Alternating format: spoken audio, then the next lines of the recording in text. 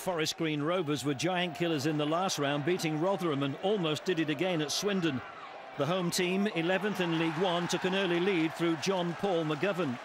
But nine minutes into the second half, Forest Green from the Blue Square Premier were level.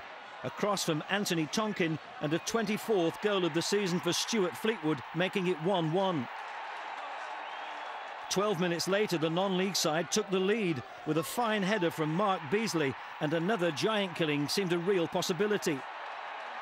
But with 21 minutes left, the Swindon captain Hasney Aljofree headed in McGovern's cross to make it 2-2.